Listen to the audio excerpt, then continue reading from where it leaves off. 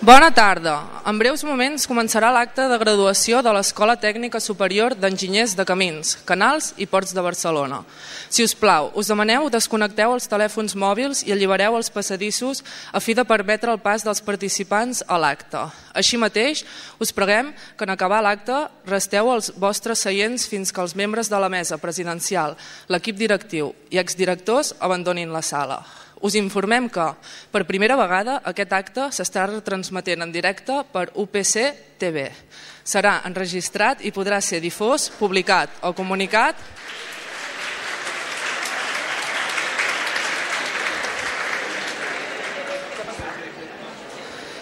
serà enregistrat i podrà ser difós, publicat o comunicat de manera íntegra o parcial a través d'internet o qualsevol altre mitjà. L'enregistrament es podrà descarregar des del web de l'escola properament. Moltes gràcies per la vostra col·laboració.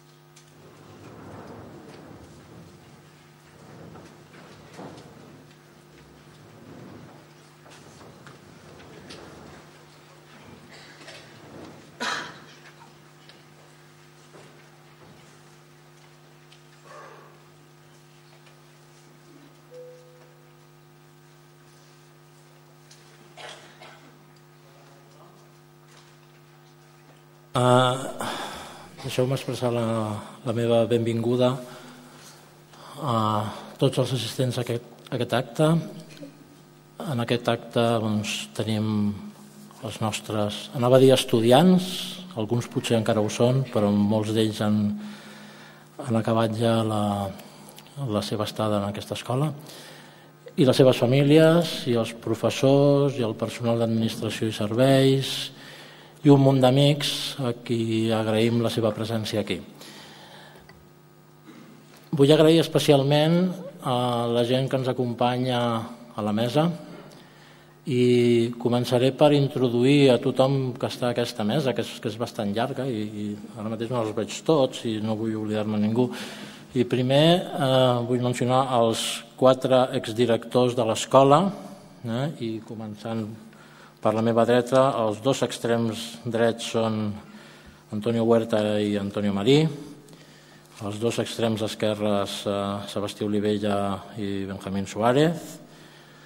Tenim també a l'esquerra, perdó, el Jaume Pons, que és el cap d'estudis de la Facultat de Geologia de la Universitat de Barcelona, que representa el Degà, i tenim els representants de tres col·legis professionals associats amb les nostres titulacions, el Ramon Campanera, que és vicedegà primer del Col·legi d'Enginyers Tècnics eh, d'Obres Públiques de Catalunya. Tenim l'Oriol Altisenc, que és el degà del Col·legi d'Enginyers de Camins, Canals i Ports de, de Catalunya, i el Juan Ignacio Navarro, que és el degà del Col·legi Oficial d'Enginyers Tècnics i de Grau en Mines i Energia de Catalunya i Balears. Per acabar tenim a la vicerrectora Esther Real, que representa el rector, que s'excusa perquè no ha pogut venir degut a un compromís d'última hora i que l'Esther Real, a més, és, és de la casa, o sigui que, que estem molt contents perquè estigui ella, representant a la institució UPC.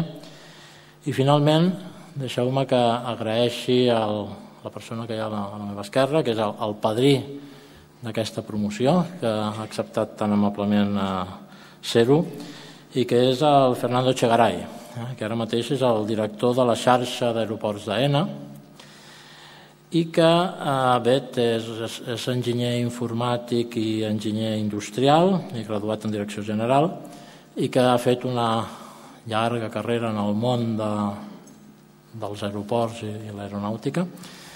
I en particular va estar eh, uns anys com a director de l'aeroport de Barcelona al Prat, eh, els anys, si ho tinc bé, el 2006-2012, cert? I va contribuir eh, significativament al desenvolupament, al desenvolupament del nostre aeroport. Eh, de fet, potser ho recordareu, però el 2009 va ser quan es va inaugurar la T1 i ell era el director en aquell moment. I no només això, sinó que durant el seu període de direcció de l'aeroport va contribuir a formar també els nostres estudiants perquè es van organitzar moltes visites d'obra durant la construcció i jo recordo que fins i tot eh, va tenir l'amabilitat d'organitzar una visita de professors, eh, en la que jo vaig participar, o sigui que me'n recordo, en què uns quants d'aquesta mesa sembla que vam, vam participar i vam poder descobrir en primícia la, la terminal, la T1. Bé, jo li agraeixo molt, és, és un plaer i un gran honor comptar amb ell per, per apadrinar aquesta, aquesta promoció. És la primera vegada que estic en un acte com aquest com a director i per mi és un gran plaer fer-ho, eh? perquè crec que és un dels actes que representen millor l'esperit de l'escola. És un acte solemne, però a la vegada és un acte, òbviament, alegre, és festiu, esperem que pugui ser fins i tot divertit. I també és el moment perquè, sobretot els, els nou titulats, els nou graduats, s'aturin per mirar cap enrere i cap endavant. No? I quan es mira cap enrere, doncs eh, tots vosaltres esteu pensant en els anys que heu passat a l'escola,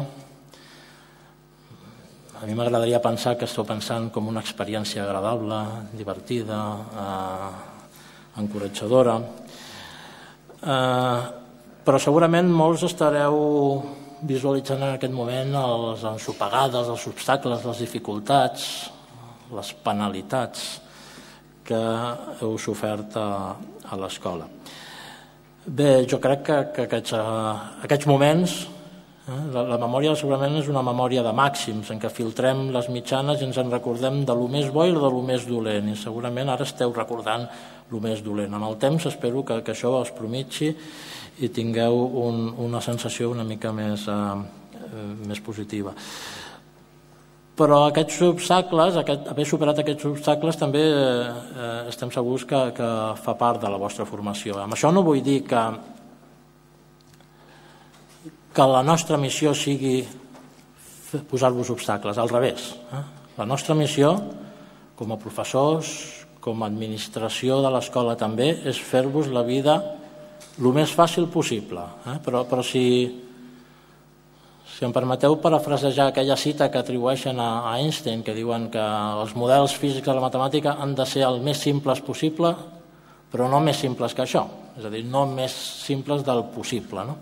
Doncs igual, la nostra missió és, és fer-vos la vida el més senzilla possible, però hi ha un nivell de complicació del qual no us podem lliurar. I, desgraciadament, mm, bueno, segur que l'heu patit, eh? perquè, eh, perquè assolir el nivell mínim d'exigència que demana les diverses formacions d'aquesta escola no és fàcil i demana esforç, demana talent i demana treball. Eh? Segur que el primer dia us vam avisar ja que això demana molta feina. Bé, la, la idea és que heu estat capaços de proveir, de, de pagar aquest preu en talent i en esforç per arribar on sou ara i ens congratulem i us felicitem per això. També és un moment per mirar cap endavant. I amb aquesta idea de mirar cap endavant, a mi m'agradaria distingir dos grups. Aquí hi haurà un, un cert nombre d'entre vosaltres que eh, esteu en aquest moment o us heu graduat recentment i esteu continuant amb un màster. Fins i tot algú que potser ha acabat un màster i ha començat un doctorat. És a dir, sou gent que continueu la vostra formació la vostra formació acadèmica, la vostra formació vital suposo que no s'acaba mai, però la vostra formació acadèmica continua. Eh, bé, vosaltres canviareu de nivell, de context, potser s'abastarà una mica el, el, el vostre rang d'expertesa, de, però estareu en un entorn que d'alguna manera us seguirà sent familiar.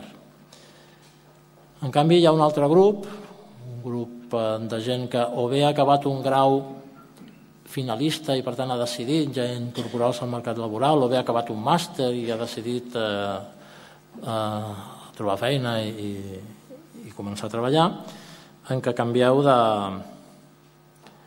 d'entorn. Eh? D'alguna manera us afronteu a, a una vida nova o a una, un entorn que potser serà encara més hostil que el que, us, eh, el que abandoneu. Eh, bé, eh, ara quan entràvem sonava una cançó, no, no sé si us heu fixat, és una cançó d'una pel·lícula tan famosa, aquesta de Breakfast at Tiffany's, no? el Desayuno con Diamantes. No? És una cançó que amb un parell de versos parla de dos rodamons, dos rodamons que se'n van a veure món i diu després és un món on hi ha tant a veure, eh? on hi ha tantes coses a veure. Bé, vosaltres teniu un món fora, on hi ha tantes coses a veure, però sobretot un món on hi ha moltes coses a fer i on la vostra formació i la vostra professió us permetrà incidir. Pensem que el bagatge, l'expertesa, el coneixement que us emporteu d'aquí us farà persones valuoses, per, el, el vostre, per la vostra activitat futura. I pensem que veureu món, un món que en algunes ocasions pot ser un món molt llunyà, tenim molts estudiants agressats que estan treballant molt lluny, alguns molt a prop, però també són mons, eh? són mons eh, llunyans o propers, però tots són mons aliens i per tant mons on vosaltres podeu deixar la vostra, la vostra empremta que estic segur que serà molt positiva. Us deia abans que quan, eh, quan entreu a l'escola segurament el, el director que hi hagués quan, quan heu entrat us haurà dit coses del tipus en aquesta escola cal treballar molt. Eh? Allò que deia el Lenin i que va fer posar en totes les escoles soviètiques que l'únic que s'havia de fer eren tres coses, treballar, treballar i treballar. Eh, bé, la bona notícia és que heu estat capaços de donar tot això de vosaltres mateixos, tot aquest treball, treball i treball, per arribar a un sou. Eh? Felicitats. Ha una notícia dolenta, que és que això no s'acaba aquí. Que a partir d'ara el que haureu de fer també és treball, treball i treball.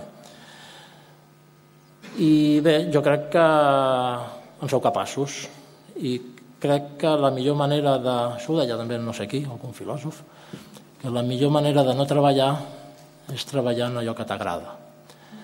I crec que és això el que heu de procurar, treballar amb allò que us agradi i amb això potser no us adoneu de que esteu treballant, treballant, treballant. Bé, moltes gràcies. Jo ara el que faré és eh, donar entrada a la part més eh, central d'aquest acte, que és la imposició de les beques. I per això demanaré al secretari sí, no, el secretari de, de l'escola, el professor Climent Molins, que s'adreci a vosaltres cridant-vos pel nom.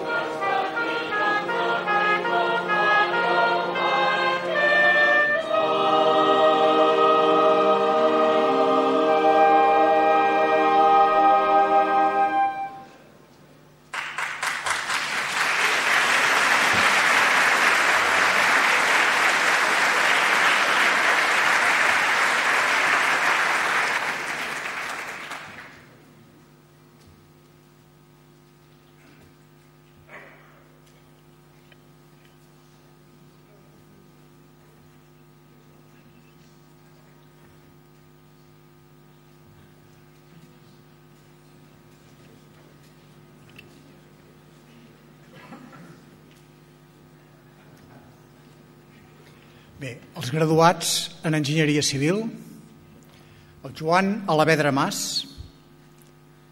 Alicia Alcoba Coromines, Marc Vallvé Ferrero, Mònica Bernils Ribé, Javier Boronet Díaz, Gerard Boades Andreu, Eric Brea Garcia, Iván Jesús Cantero Sánchez, Montserrat Casado Antolín, Enric Consegal Martínez, Marta Domènech i Roca.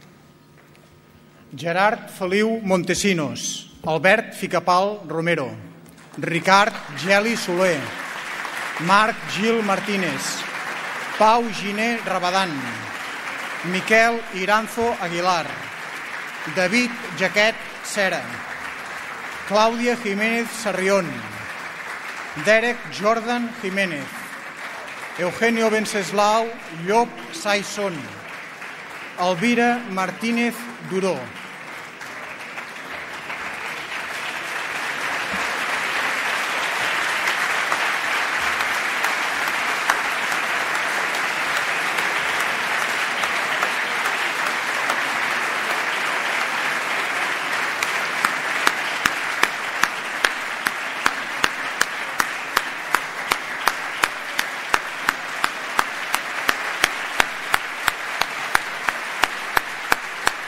Endavant.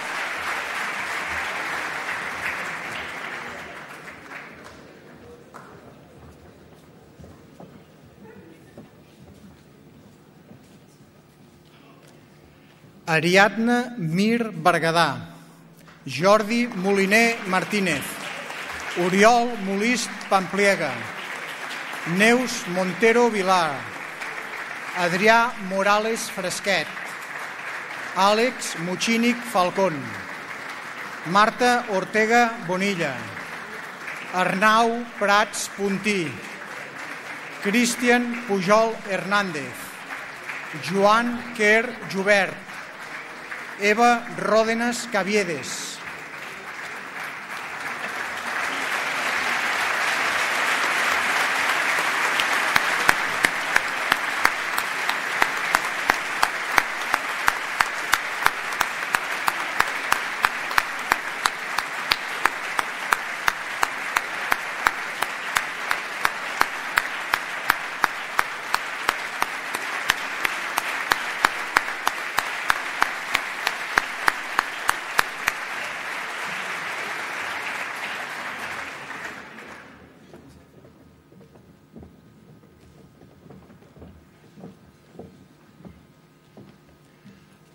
Àlex Rujals Mai- Mainars, Maria Rovira Freixas, José Ruiz Nieto, Juan Francisco Sánchez Arqués, Eva Sánchez Mejías, Francesc Xavier Sánchez Salomó, Xavier Tomàs Rodríguez, Adrià Torres Ventura, Maria Vallejo Segura, Rubén Jacobo Llanes Castilla.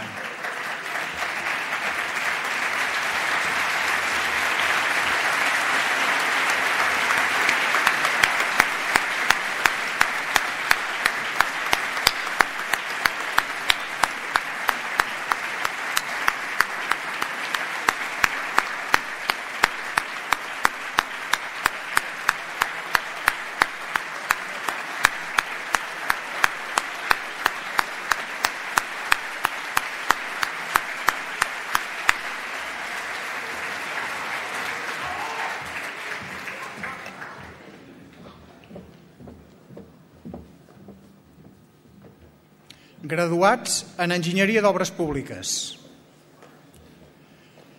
Cristina Almirall Canudes. Aniol Amat Blai. Roger Banyos Gala. Pol Camí de Viu. Marc Castro Justo. Jorge Francisco Cristo Cabo.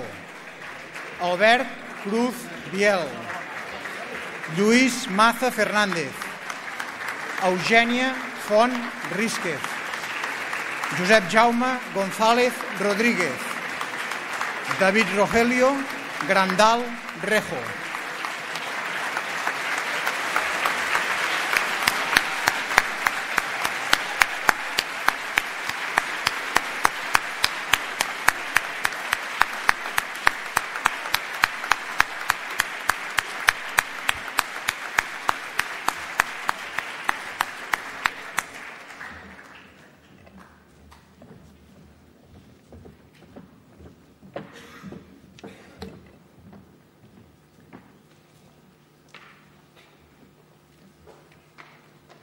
Eva Gutiérrez Cortés, Josep Hernández Borrell, Alexandra Nieto Malonda, Cristina Ortiz Porras, Pau Perdices Cos, Constanza Pons Ferreira, Patricia Ruiz València, Marina Sánchez Pardo,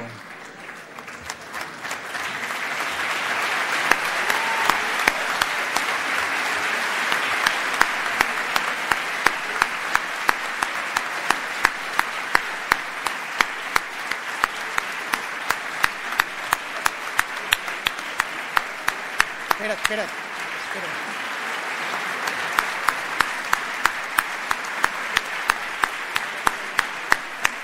Ja està.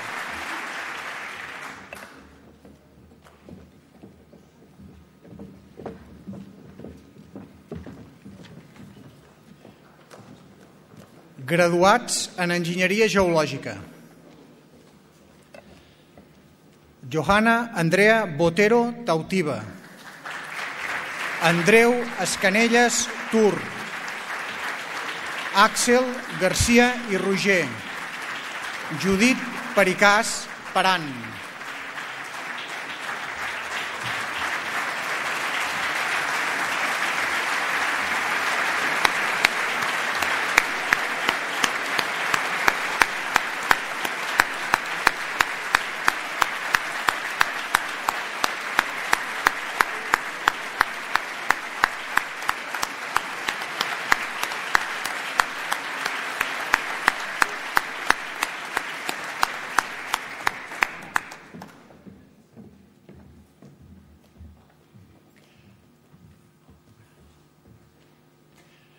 graduats en Enginyeria de Camins, Canals i Ports.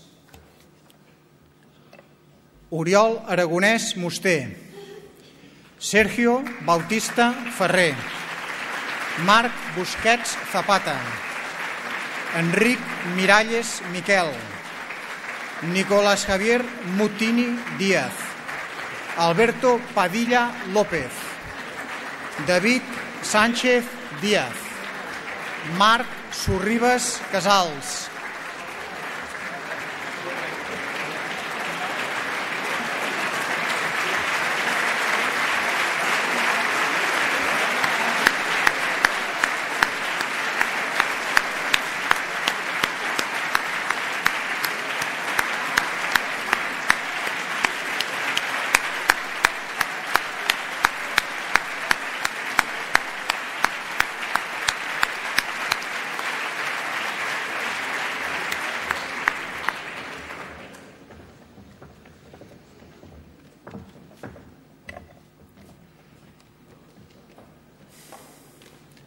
Màster en Enginyeria de Camins, Canals i Ports.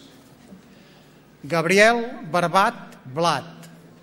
Marc Busquets Casals. Joan Ignasi Cózar Balcells.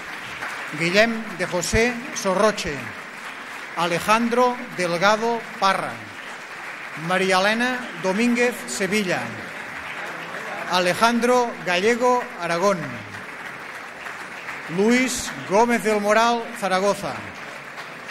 Sergio Gómez Sistac. Pere Herrero Palau. Òscar Maza Lalueza.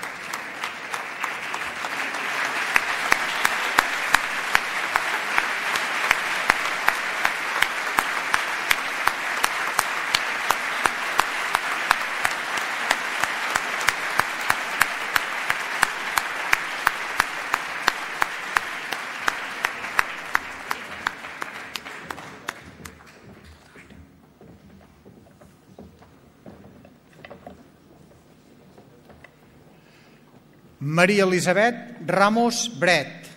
Sergio Sánchez Plomet.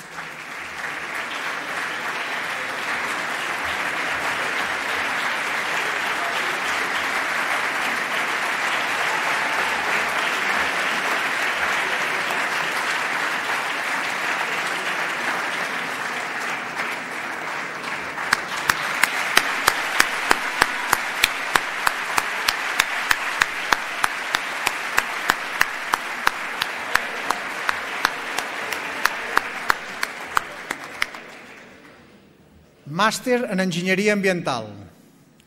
Aniol Alabert Aldana. Marianela de Los Ángeles Reyes Rodríguez. Luis Alberto López Ruiz. Ana Mir Fernández. Montserrat Guadalupe Ramírez Melgarejo.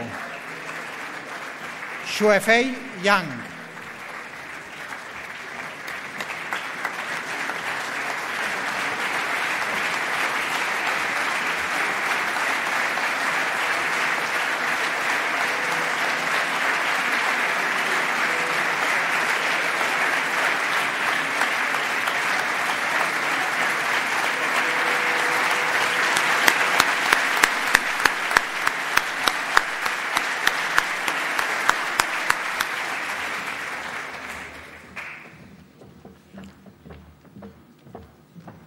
Màster en mètodes numèrics en enginyeria.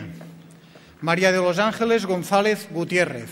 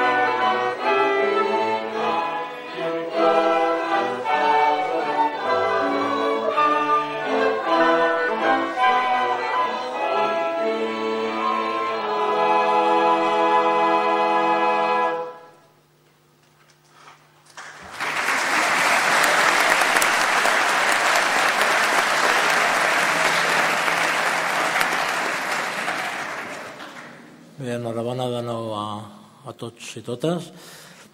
Ara donarem pas als parlaments dels representants de les diferents eh, titulacions de grau, de les tres titulacions de grau de l'escola, i del representant de tots els estudiants de màster. En primer lloc, s'adreçarà a nosaltres el senyor Jaume González, que és el representant dels estudiants del grau d'Enginyeria d'Obres Públiques.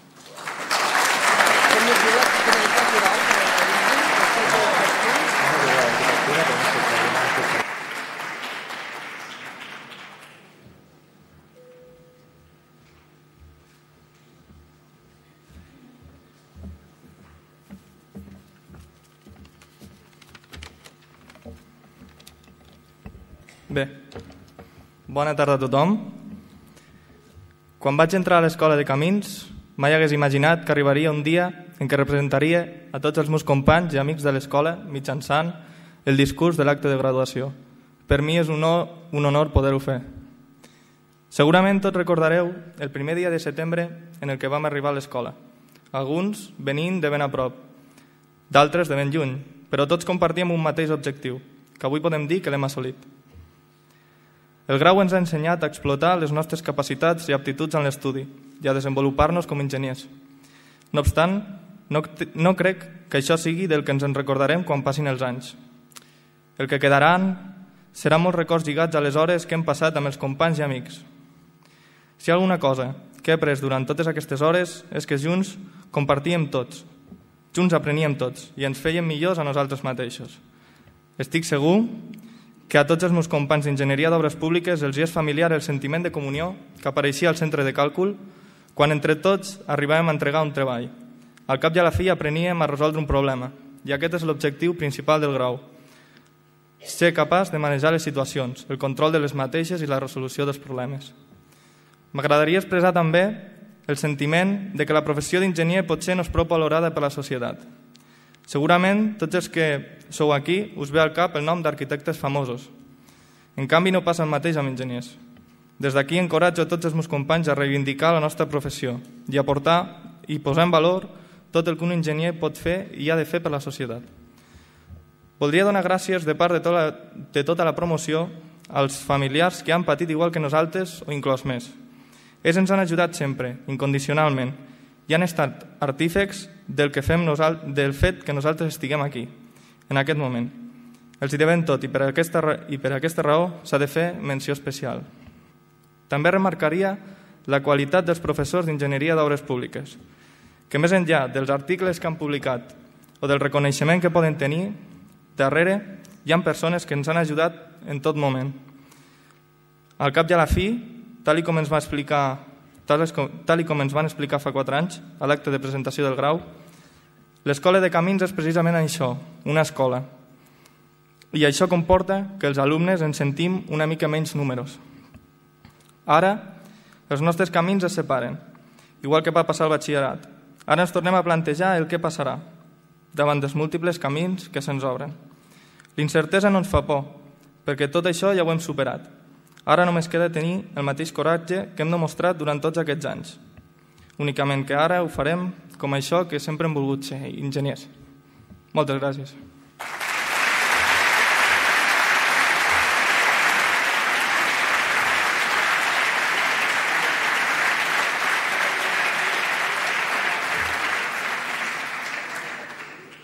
Moltes gràcies, Jaume. Ara donem la paraula al senyor Àlex Mutxinec, que és el representant dels estudiants del grau en Enginyeria Civil.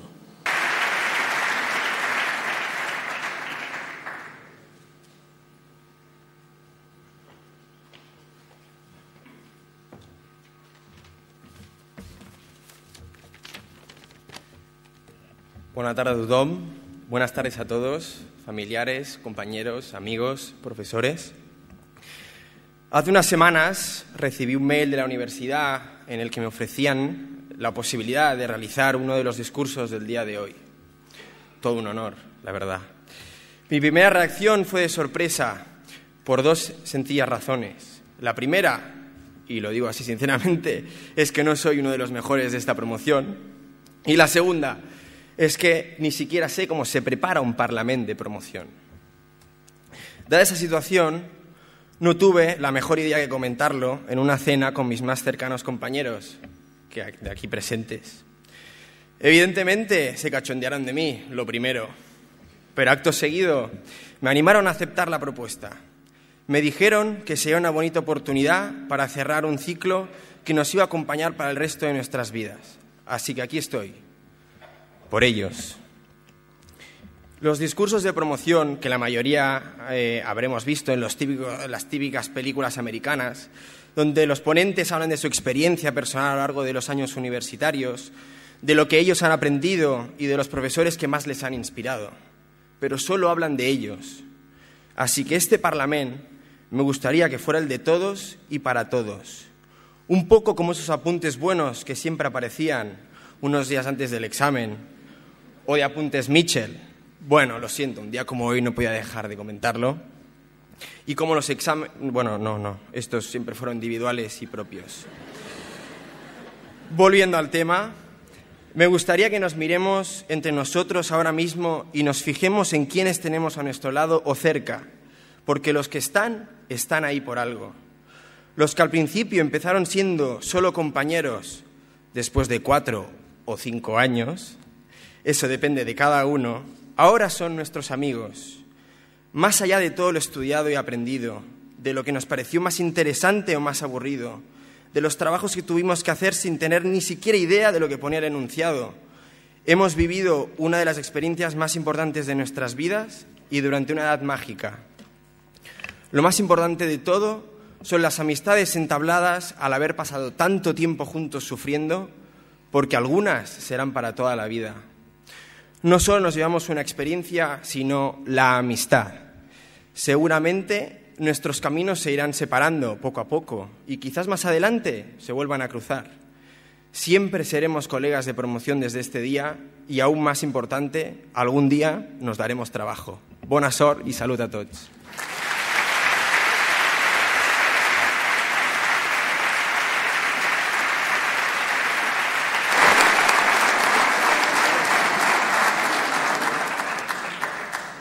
Continuació, el senyor Andreu Escanelles eh, serà nosaltres en representació dels estudiants del grau en Enginyeria Geològica.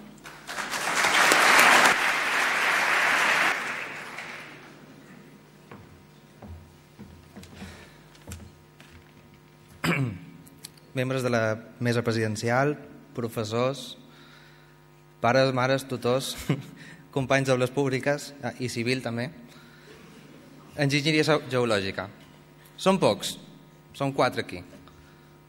Això fa que els números a vegades no quadrin pel rectorat i pot ser la nissaga d'enginyers geòlegs de Barcelona s'acabi aviat. La figura d'enginyer geòleg a Espanya no és molt coneguda, fins i tot en aquesta sala.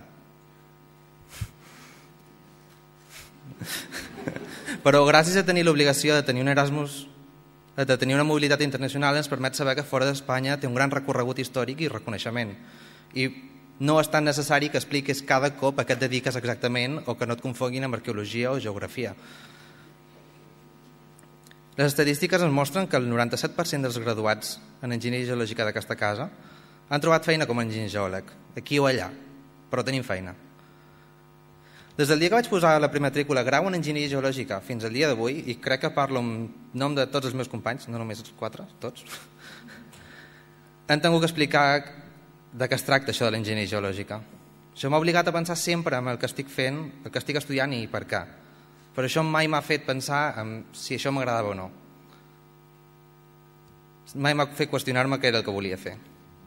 El meu començament en aquesta carrera va ser erràtic. Com molts, no arribam aquí de primera o segona opció, pot ser tercera. Al principi, els, els cursos més avançats ens encisaven molt amb la cançó de doma, Ingeniero Geólogo Domador del Terreno i Conquistador. I els professors de geologia sempre ens deien que arreglaríem els problemes que els de dalt no sabien veure. Però no sabien del cuento la meitat, tampoc. Um, sempre hem estat amb un pau a la Facultat de Geologia i un Pau a l'Escola de Camins. Hem, hem, nascut, hem crescut dins de l'escletxa entre la geologia i l'enginyeria civil. Han tingut els papes estrictes i exigents que ens fan sofrir a l'escola de camins en la mecànica de maïs continus o els mètodes numèrics i els tiets enrotllats que ens treuen d'excursió fent-nos sofrir a les sortides de camp durant hores i hores perduts a la muntanya amb abelles perseguint-nos i un mapa geològic a mig fer, ramput per la pluja, per les altres inclemències del temps i tot per treure un 6 a l'examen de camp. bueno, hem, hem après a veure la foto general. Però tot aquest sofriment ha estat alleujat pel suport que ens han donat els companys, compartint apunts, martells, brújoles, tardes infinites al, al centre de càlculs, pels informes de mètodes numèrics, o l'ajuda dels més veteranos per saber a quina facultat, a quina secretaria o a quina universitat dirigir-nos per fer qualsevol tràmit. Bueno, gràcies Ingrid, gràcies Andrea, gràcies Radio Patio en general. Amb tot això, estic molt content d'haver acabat a Enginyeria Geològica, d'haver après molt, molt de molts experts que ens han donat classes, molts experts en els seus temes, conèixer tots els investigadors que, que tenen molts un prestigi internacional bastant notable. I més important, sortint d'aquesta carrera amb, la sensació que molta gent no té, que és tenir la sensació de que he après molt. Escola de Camins, la vostra feina ja va acabar fa un any. Ara ens toca a nosaltres, companys, vosaltres tres i els que es veuen per l'UPCTV també. Som gent multidisciplinar. Petroli, mineria, riscos ambientals, geotècnia i un gran etc. Tenim molta feina a fer. I així mostren les esta- estadístiques. Podeu trobar el meu currículum al LinkedIn. I, com deia el lema d'Enginyeria Geològica de, ter de tercer de, de carrera de fa un parell d'anys, Enginyeria Geològica avanza i destroza. Gràcies.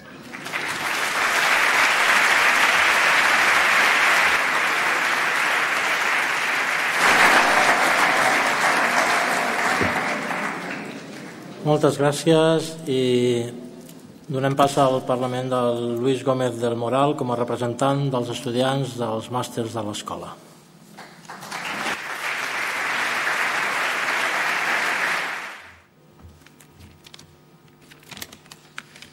Bona tarda a tothom. Primer de tot, agraeixo a la direcció d'haver pensat en mi per representar en aquest Parlament els màsters d'Enginyeria Canals i Ports, de mètodes numèrics i d'enginyeria ambiental, dels que hi són i dels que no hi són. Tots aquests, amb aquest acte donem fi, amb molta alegria, a la nostra etapa formativa. Més enllà de la tècnica que haguem adquirit, en aquesta escola hem après a aprendre, sigui el que sigui, costi el que costi. Saber aprendre resulta indispensable en el nou món, incert i volàtil.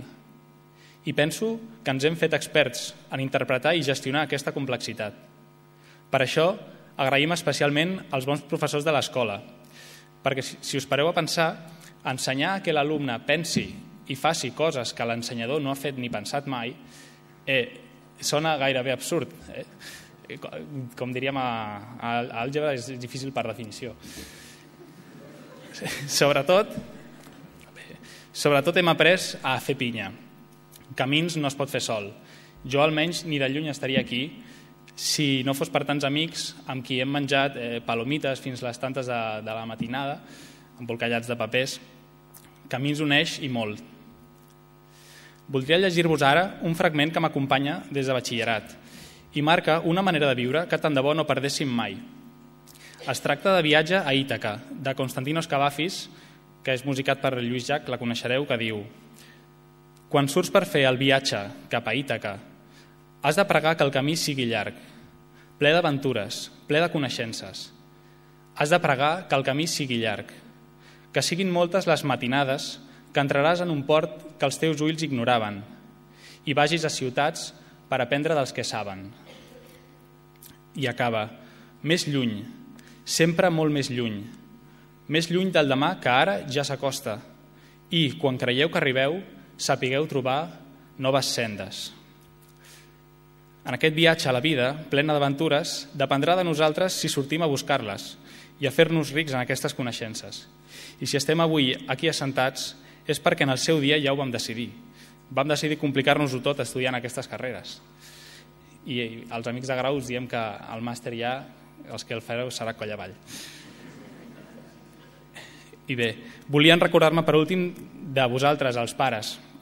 Donat que probablement avui sigui una de les poques evidències de que realment som enginyers. De que hem fet una carrera, de que si ens hem passat 6, 7, 8 anys fora de casa, fins a les tantes de la nit, de dilluns a diumenge, és que estàvem a una biblioteca i no pantonejant per ahí. No, gairebé sempre. I que si ens despertàvem ben d'hora a fer cua un dissabte a les 8.30 davant d'una porta de vidre, no és que estiguéssim esperant les rebaixes, sinó que obrís la biblioteca perquè en època d'exàmens no hi havia lloc per a tants. I aquests pares, que ben segur ens hauran dedicat esforç des de l'ombra tants anys, patint en silenci quan ens veien patir i empassant-se les ganes de gaudir de nosaltres perquè dèiem que teníem que estudiar. Teníem que estudiar. Doncs aquests pares mereixeu de veritat aquest últim aplaudiment. Moltes gràcies.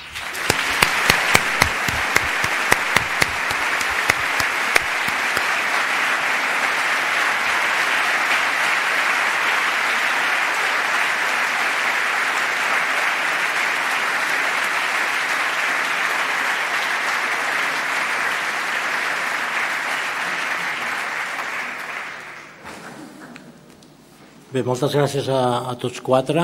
Em sembla que és, és un orgull per a aquesta escola eh, tenir un, uns graduats que aquesta mostra demostra que, que estan molt ben preparats. Eh, em quedo amb la idea de que us hem pogut ensenyar a aprendre, que segurament és la cosa més útil per al, per al futur, i sobretot em quedo amb la idea de que us hem ensenyat a respondre anunciats que no en teníeu. Això és molt útil a la vida. Uh, bé, uh, donarem, donarem el pas ara al Parlament del vostre padrí, del padrí d'aquesta promoció, el senyor Fernando Chagaray. Moltes gràcies.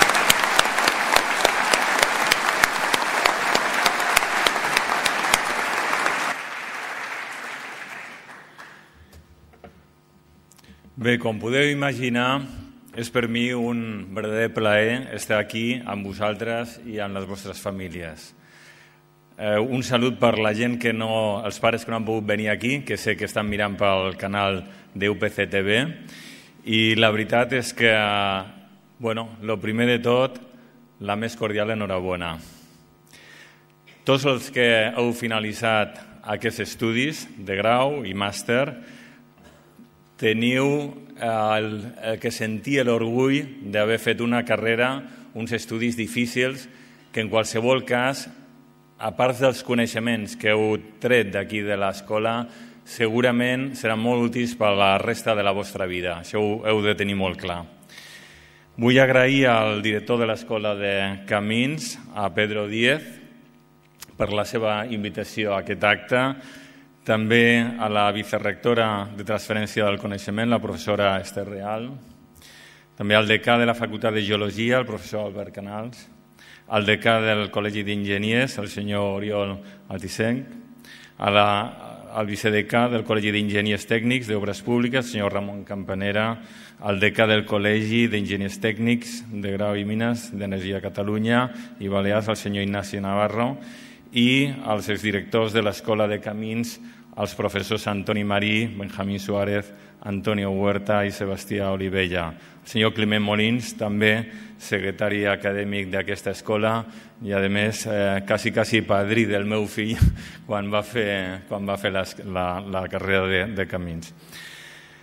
I també a tots vosaltres, a tots els membres de la universitat, que al final heu pogut fer possible la formació d'aquests estudiants, d'aquests joves, que al final bueno, pues, ha fet possible que avui estem tots aquí plegats celebrant-lo. Continuaré en castellà amb unes notes que he pres aquests dies de, de pont, de vacances, pensant que amb aquesta invitació què podia dir que no parlés de mi, com deia l'Àlex, encara que sortirà alguna cosa, jo crec que els importants sou vosaltres i les vostres famílies. I sobretot algunes qüestions que sí que m'agradaria transmetre en la meva humil experiència, que crec que serveix com guia per tota el, tot el futur que teniu vosaltres al davant.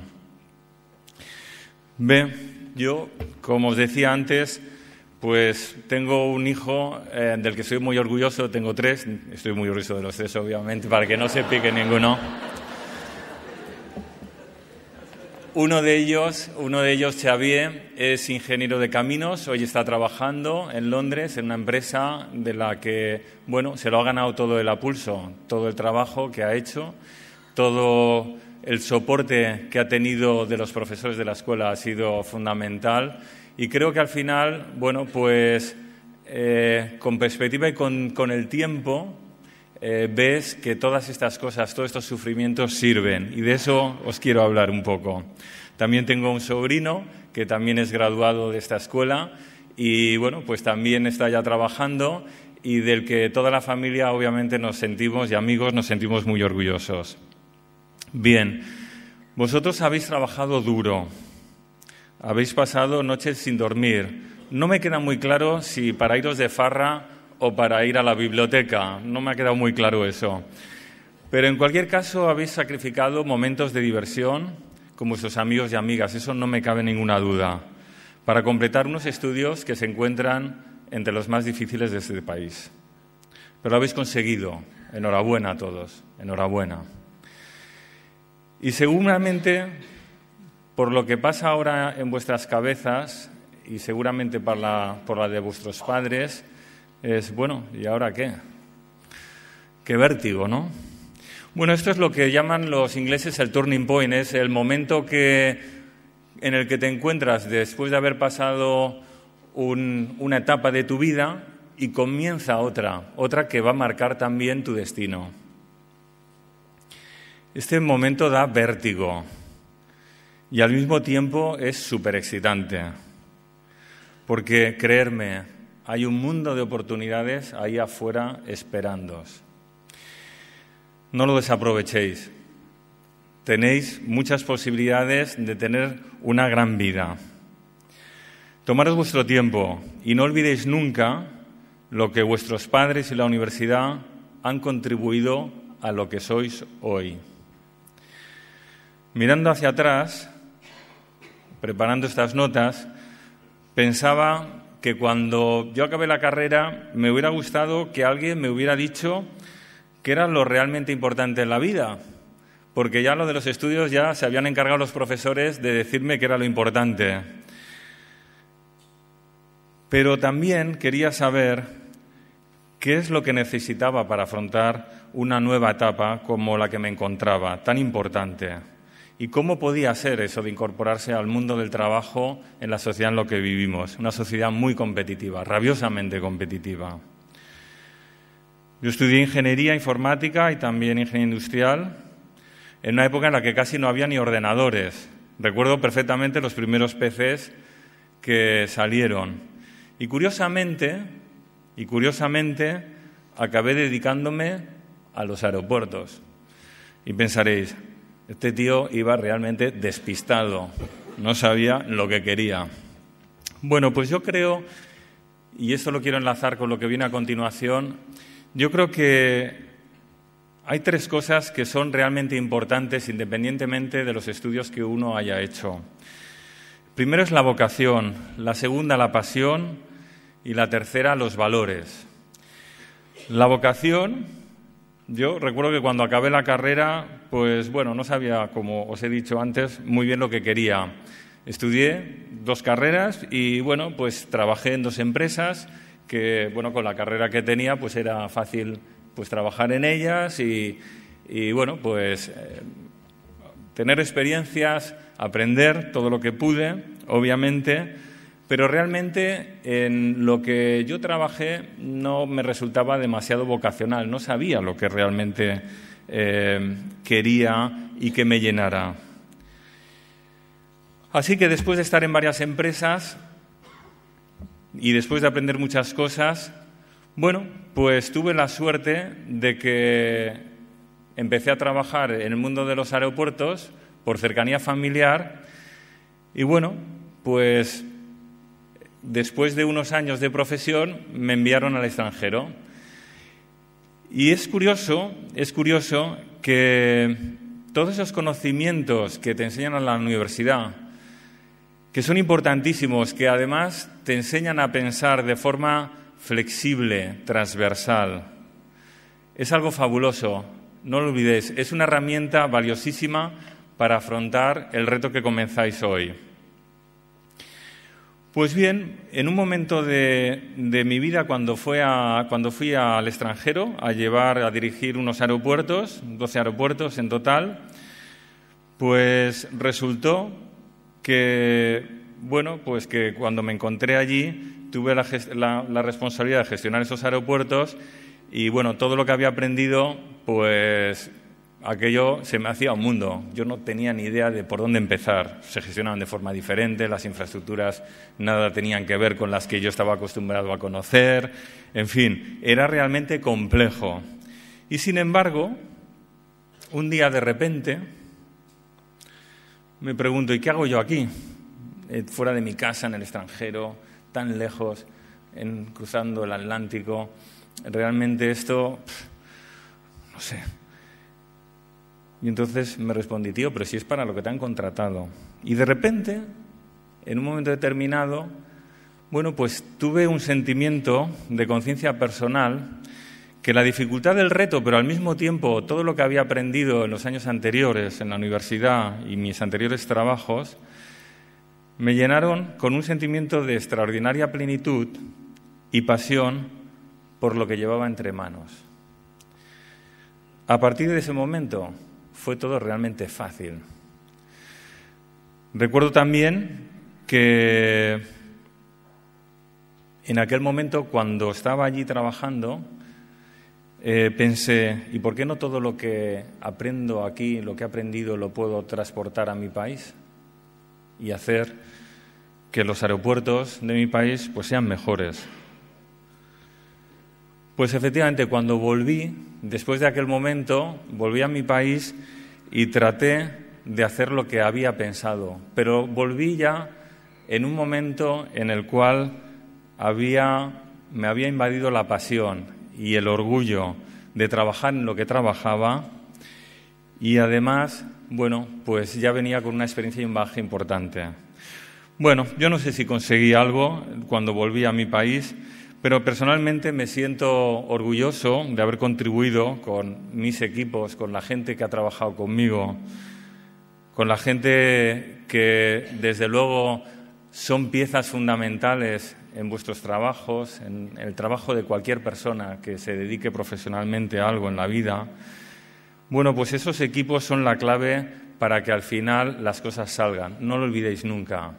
El trabajo solo posiblemente llene a una persona temporalmente, pero realmente lo que satisface es llegar a trabajar en equipo y conseguir las metas que conjuntamente todos esos equipos os habéis propuesto. Vosotros como estudiantes habéis estado muchas noches posiblemente trabajando juntos, estudiando juntos, preparando exámenes, resolviendo problemas.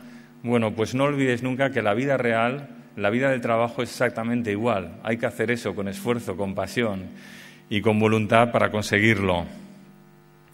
Bueno, como os comentaba antes, volví aquí, tuve la suerte de la suerte, yo creo, única en la vida profesional de una persona que trabaja en el mundo de los aeropuertos de inaugurar la terminal de Barcelona. Es una terminal espectacular que conocéis todos y que os parece que lleva toda la vida allí y que nadie se ha encargado de hacer nada. Pues detrás de eso hay miles y miles de personas que con ilusión y con trabajo hicieron posible aquella, aquella obra y aquella terminal. Muchos ingenieros de caminos, muchos compañeros. Estamos hablando hace un momento, antes de entrar aquí, de una persona de Pago Gutiérrez, una persona que fue clave en el desarrollo justamente de esa terminal, dirigió lo que se llamó el Plan Barcelona, todas las obras complejas y complicadas para conseguir tenerla.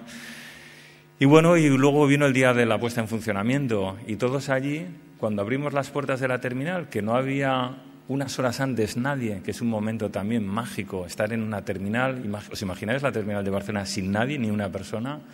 Bueno, pues algunos la hemos visto así. Es un momento mágico y cuando abres la persiana de la terminal, la puerta, de repente a las cero horas empieza a entrar gente y todo funciona perfectamente. ¿Sabéis la satisfacción que es para todos los que han trabajado y han conseguido que eso sea posible? Es difícil de describir, pero es un momento muy emocionante y que solo aquellos que tienen pasión y han trabajado duramente con eso sienten. Luego me tocó la, una etapa en Madrid, en la que sigo y estoy, no sé por cuántos años, pero es la privatización de todos los aeropuertos de este país, la puesta en valor. Y bueno, pues es un, es un reto importante, a través de todos esos aeropuertos pues han pasado 230 millones de pasajeros cada año y siguen subiendo, como sabéis. Bueno, esto es un, es un mundo fascinante. Al final, en el trabajo siempre ha habido una vocación, que eso es importantísimo, y sobre todo una fuerte dosis de pasión, que trato de explicaros porque creo que cada uno, os lo decía el director de la, de la escuela, cada uno tiene que conseguir trabajar en aquello que le hace feliz, que le da pasión, que al final hace que el ir a trabajar no sea un problema, todo lo contrario, te levantas por la mañana y no esperas a que suene el despertador porque tienes ganas de ir a, aquellas, a, tu oficina, a tu estudio, a aquel sitio donde las ideas te han estado dando vueltas toda la noche y quieres llevarlas adelante para ponerlas en práctica y al final, bueno, pues construir un mundo mejor, que es al final lo que tratamos todos los profesionales en el mundo. ¿no? Otro aspecto que no quería dejar pasar aquí, la oportunidad de poderos hablar, es el aspecto de los valores, que considero realmente importante. Al final, considero que en nuestra vida cotidiana los valores son algo que no se pueden comprar, que no se puede ir a una tienda y adquirirlos. Creo que los valores son un conjunto de reglas que nos deben guiar en nuestra vida, que son el GPS para nuestro comportamiento. No toda la vida son sucesos iguales que con fórmulas podamos calcular el resultado de forma determinista. En la vida nos encontramos permanentemente con variables cambiantes y los valores nos ayudan a decidir en cada circunstancia de la forma más correcta de actuar. Los valores nos ayudan a tener equilibrio y coherencia y nos permiten obtener la madurez emocional tan necesaria para afrontar las difíciles situaciones ante las que nos pone la vida. Existen innumerables valores. Cada individuo tiene los suyos, pero no olvides nunca que valores como la perseverancia, el sacrificio, la humildad, la lealtad, la libertad, el optimismo, el compromiso, la gratitud, la ética, la labor en equipo y la familia y muchos más son fundamentales para el desarrollo personal y profesional vuestro. ¿Os habéis preguntado alguna vez cuáles son los vuestros? Os recomiendo hacer el ejercicio. Hay gente con mucha edad, madura, que todavía no se lo ha preguntado. Para terminar, os animo a que exploréis nuevas cosas y con esto acabo. No os quedéis nunca cómodos en vuestra zona de confort cambiar cada cinco años de posición. Vuestros padres dirán, joder, a mi niño ha conseguido un trabajo y ahora este me dice que cambie. Bueno, cuando tengáis un poco más de edad entenderéis perfectamente lo que os estoy diciendo aquí. Nunca dejéis de estudiar.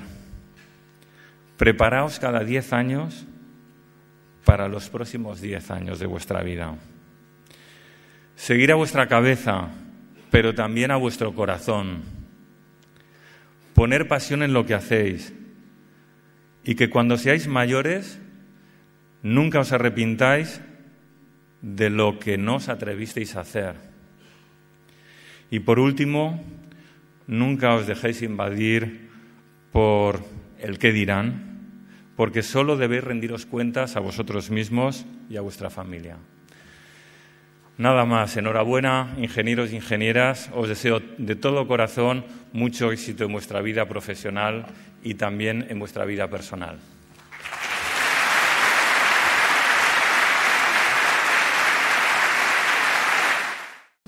Muchísimas gracias, Fernando. No crec que s'ha confirmat que era un orgull tenir aquest padrí. Crec que les paraules que ens ha adreçat i que en particular us ha adreçat a vosaltres us poden servir en el futur com a un referent d'actuació i com un, referent, com un model també. Eh, bé, jo, jo crec que ja em toca d'alguna manera acabar, deixaré la cluenda a la vicerrectora Esther Real, que representa el rector, i després eh, escoltarem el, i cantarem potser el Caudeamo Sigitur i l'acte sobre clos. Llavors dono la paraula a l'Ester Real. Moltes gràcies, director. Degans, directors estants, autoritats, companys, companyes, amics, amigues, graduats, alguns també amics, i familiars. Vull començar, primer de tot, agraint en nom del rector i del meu propi que l'Escola de Camins ens hagi convidat a formar part d'aquest acte, que per nosaltres és un acte molt important. Tal com ha dit el director, és un dels actes acadèmics en el que els membres de la comunitat universitària disfrutem més. Vull disculpar també la no presència del rector, sabeu que, que aquest any s'ho havia combinat molt bé per poder venir, però no us enganyaré de que em fa il·lusió que no hagi pogut venir i poder estar jo aquí perquè em sento que formo part d'aquesta comunitat i com a professora de l'escola no represento l'escola, intentaré parlar en nom de, de l'UPC, però evidentment és un dels actes de graduació en els que em fa més il·lusió participar-hi. Com ha dit, eh, tot i ser l'última, intentaré ser breu, perdoneu, però sí que us vull dir algunes coses, us vull adreçar unes quantes paraules en nom meu i segurament de molts dels meus companys de la taula. Per nosaltres és realment un orgull, com a professors, haver format part del vostre procés formatiu, en paral·lel al que han format les vostres famílies, que han contribuït molt a la nostra tasca formativa en, el, en els valors i en els coneixements. Hem intentat des d'aquí, i espero que ho hem aconseguit d'alguna manera, transmetre no només coneixements, sinó transmetre els valors. I crec que d'això us haureu de sentir orgullosos i, com deia el Pedro, el temps anirà modulant els records que teniu de l'escola i, en general, Espero que siguin positius i crec que acabaran sent positius. Quan sigueu més grans ja us en recordareu d'aquestes paraules i espero que així sigui. Com a vicerrectora de transferència de coneixement, entenc que aquest acte de graduació i la transferència de graduats a la societat és un dels actes de transferència més importants que fem des de la universitat, però no vull que entengueu aquest acte com un acomiadament de la universitat. En aquesta universitat és casa vostra, l'escola de Camins és casa vostra i les altres escoles de la universitat són casa vostra per quan les necessiteu, ja veureu més endavant que les necessitareu, i possiblement també vull que tingueu coneixement d'alguns instruments dels que disposem a la universitat perquè pugueu mantenir un contacte a llarg termini. Per començar, a partir d'ara sou alumni de la UPC, comunitat universitària de la que ens sentim molt orgullosos i que aquí està representada pel president d'alumni, que és el senyor Vilà i la senyora de los Santos, i a més a més disposem d'una Fundació Politècnica de Catalunya on el director actual de la Fundació Politècnica és el professor Benjamín Suárez, també exdirector de l'escola. I a més disposeu de molts grups de recerca amb una capacitat tecnològica, amb una capacitat d'ajudar-vos en alguns moments professionals als que necessitareu o podreu optar a acostar-vos a la universitat perquè us ajudin a desenvolupar noves tecnologies, a posar-vos a la situació actual en la que està la ciència i el coneixement en el seu moment i per tant vull que us en recordeu sempre de que podeu tornar i de que teniu les portes obertes i molts de vosaltres i dels vostres, dels vostres companys anteriors ho han estat fent. Heu de tenir present, heu de ser conscients de que us enfronteu a una etapa professional bastant més complexa de la que hi havia fa uns quants anys. I ara sí que ja parlo dintre del món de l'enginyeria civil, especialment, però és un món molt competitiu, sempre es diu que és un món competitiu, però és veritat que és un món molt competitiu i molt canviant. Ara hi ha la disrupció, l'entrada de totes les noves tecnologies, quan parlem de l'internet de les coses, del big data, de coses a les que ens haurem d'adaptar i us haureu d'adaptar tots i heu de ser conscients de que això us obligarà a mantenir un nivell de coneixements i un nivell de relacions amb altres sectors professionals que jo crec que els heu d'entendre com uns aliats i que, com deia el nostre o el vostre padrí, un estudia una cosa però al final en funció de la seva formació i de la seva passió va desviant una mica on es va trobant al llarg de la vida. Heu de tenir consciència de que la vostra capacitat o la vostra activitat professional s'haurà de suportar en quatre pilars fonamentals. Un és la vostra capacitat d'innovació, que també se'n pot dir adaptació o resiliència a les situacions canviants que us aneu trobant, la vostra adequació a les noves tecnologies, no us penseu perquè sigueu més nou tecnologies que els vostres pares ja s'ha acabat, de lo que teniu ara a lo que podeu tenir d'aquí 10 anys, possiblement no us ho podeu ni imaginar, per tant haureu de ser capaços d'adaptar-vos i us asseguro que fa mandra, a segons quines edats comença a fer mandra adaptar-se a aquestes noves tecnologies. Haureu de ser capaços de viure en un món globalitzat, internacionalitzat, i no sempre, ja no sou enginyers de Catalunya o d'Espanya, sou enginyers del món i us tocarà treballar des d'aquí o des de fora, per aquí i per fora, i el que aneu coneixent fora serà molt útil i molt interessant per el que pugueu fer aquí.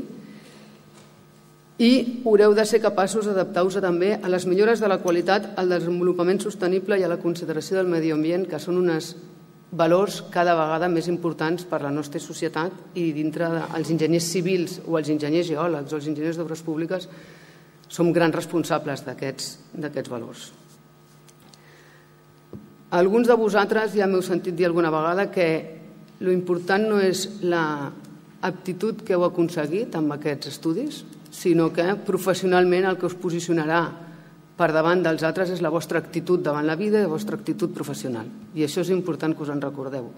Que un ha de tenir passió, ha de tenir passió per llevar-se, per anar a treballar. És veritat, ho deien els filòsofs, ho ha dit el, meu, el vostre padrí i el meu exmarit també m'ho deien. Crec que no era filòsof, però em deia el problema és que t'agrada. Si aconseguiu que us agradi, de veritat que disfrutareu. Pero bueno, yo creo que ellos también se levantaban muy contentos para venir a clase. O sea, ya saben de qué va. se les ve la cara. En la línia de lo que ha dit un dels representants dels estudiants, el Jaume, vull demanar-vos, en nom meu i dels col·legis professionals i dels meus companys de l'escola, que pel bé de les nostres professions, enginyer d'obres públiques, enginyer de camins, enginyer geòleg, en total, pel bé de la professió i del reconeixement i el posicionament en valor de l'enginyeria, que sigueu còmplices i prescriptors de la capacitat de formació que hi ha en aquesta escola. Vosaltres sabeu que és una escola referent, internacionalment referent, reconeguda en els rànquings, potser això no ho sabeu perquè ho posava a les teles aquelles que teniu per allà al bar, però i en els departaments, però és una de les escoles que constantment està reconeguda com una de les millors, bueno, la primera a nivell nacional i en uns rànquings molt ben posicionats a nivell internacional en enginyeria civil. Això és gràcies al gran esforç que han fet molts dels directors d'aquesta escola, alguns dels quals estan representats en aquesta taula i alguns altres també per aquí entre el públic, no tots estan a la taula perquè no hi cabíem, i també gràcies a la tasca que fan els professors o que fem els professors durant el nostre dia a dia, tasca formativa, tasca de recerca, que crec que és una cosa que heu de posar en valor perquè si la societat, si vosaltres ho poseu en valor, nosaltres ho posem en valor i la societat ens ho valora, aconseguirem que a més a més de noms d'enginyers d'arquitectes reconeguts també es comencin a conèixer noms d'enginyers reconeguts que n'hi han i molts i molt bons. Per això també podeu comptar amb la complicitat i la col·laboració dels col·legis professionals, a qui agraeixo moltíssim que estiguin aquí en aquest acte, en nom meu i en el nom del director de l'escola, evidentment. També vull agrair a la Coral, em toca ser l'última, en nom de tots, la seva participació. És un plaer sempre comptar amb una coral tan experta i ara disfrutarem del Gaia Musiquitur, cantarem tots junts, o intentarem. I també us vull dir que lligat amb el tema de la formació, els futurs estudiants que surtin d'aquesta escola, com millor capacitats estiguin, serà millor per nosaltres, però serà millor per vosaltres, perquè seran els vostres col·legues, alguns treballaran per vosaltres i faran, formaran part dels vostres equips. Per tant, us demano complicitat, us demano que mantingueu ben alt i amb, ben, amb molt d'orgull el nom de l'escola, la formació que heu tingut i que si algun dia necessiteu acostar-vos a nosaltres o fer-nos suggeriments o col·laborar, aquí estem oberts per col·laborar sempre amb vosaltres. Us felicito a tots, evidentment, per la vostra graduació, felicito els vostres pares i simplement desitjar-vos el millor en el vostre futur i dius que ara després de, de la de la coral podrem sortir fora a fer un refrigeri. Moltes gràcies.